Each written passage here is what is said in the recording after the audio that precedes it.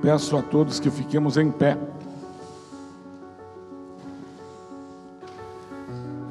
E de mãos dadas, com este gesto de união e esta comunhão de cérebros, nesta histórica casa da cultura jurídica brasileira e maravilhosa capital do estado de São Paulo, eu tenho a honra de declarar abertos os trabalhos alusivos ao décimo encontro brasileiro da advocacia criminal.